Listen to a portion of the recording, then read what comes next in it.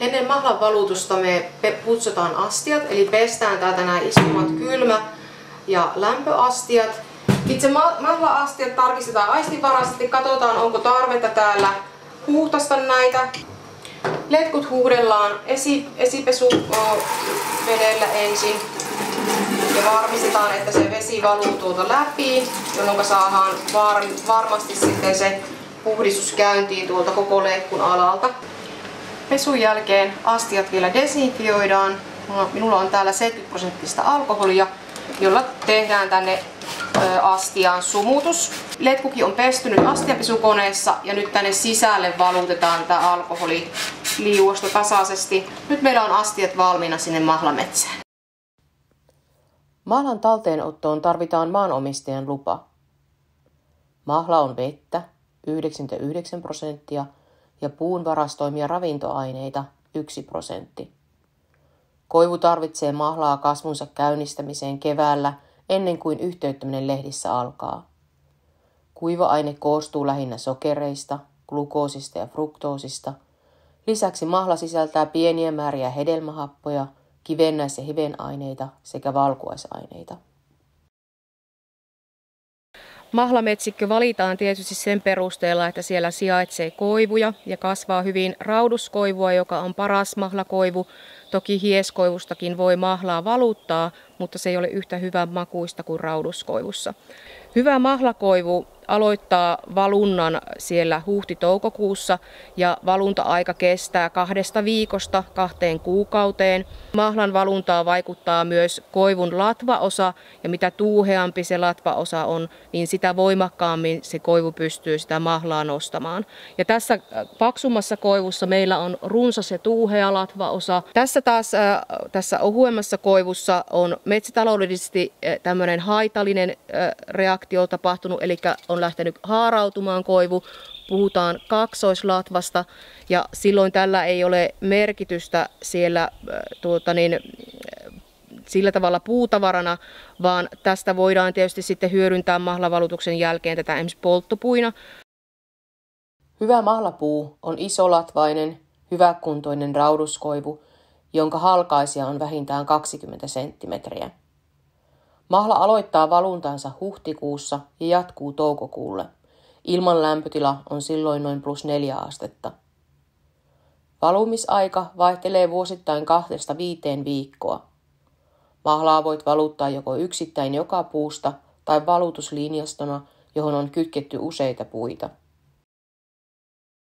Hyvä mahlanvalutuskohta koivusta löytyy 30 cm-metrin alueelta. Otetaan äh, jo aikaisemmin pesty poranterä ja äh, lähdetään sitä desinfioimaan. Eli täällä on 70 prosenttista alkoholia ja poranterä sumutetaan sillä. Tämä siksi, että äh, sieltä poran mukana voi tulla epäpuhtauksia.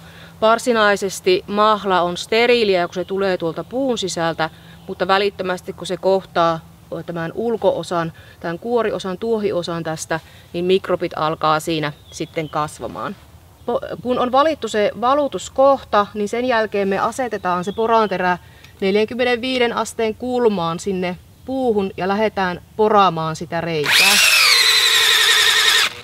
Desinfioidaan vielä tämä varsinainen reikäkohta täältä, eli poistetaan sinne tulleet purut ja myös sitten niitä epäpuhtauksia, mitä mahdollisesti siitä on sitten siirtynyt sinne varsinaiseen reikäkohtaan. Holkkeja meillä on erilaisia, mitä voidaan sijoittaa maastoon. Hygienia on tärkein osa valutusta. Huolehdi valutusastioiden ja välineiden puhtaudesta sekä henkilökohtaisesta hygieniasta. Tarkkaile valutuskauden aikana mahlan laatua. Valutuskauden loppua kohti mahlan väri muuttuu sameammaksi ja pH laskee. Estä epäpuhtauksien siirtyminen mahlaan maastossa ja varastoidessasi mahlaa. Saat mahlaa valutusaikana 50-300 litraa per puu tai 15 cm halkaisijaltaan olevista puista 2-4 litraa vuorokaudessa ja sitä suuremmista 20 cm halkaisijaltaan olevista puista noin 10 litraa vuorokaudessa – ja 30 senttimetriä halkaa sieltään olevista puista noin 15 litraa per vuorokausi.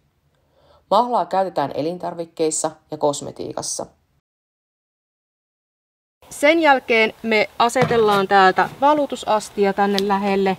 Ja nyt valutusastiaan on tehty tänne kanteen valmiiksi sopiva reikä, joka on sama paksunen kuin tämä varsinainen letku. Ja letku kiinnitetään sitten kiinni tähän reikään. No niin, meillä on täällä nyt vuorokauden verran valunut mahla ja meillä on täällä tämmönen 5 litran pölttö täynnä mahlaa. Ja me vaihdetaan nyt sitten tähän uusi astia.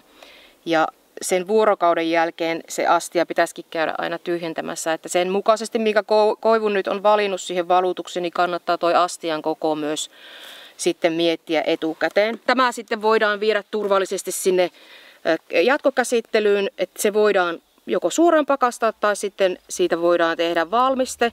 Esimerkiksi pullottaa suoraan sellaisenaan mahla ja steriloida se sitten, eli pastoroidaan käytännössä ja silloin se säilyy ihan hyvin siellä pullossa juomakelpoisena jopa sen puolisen vuotta.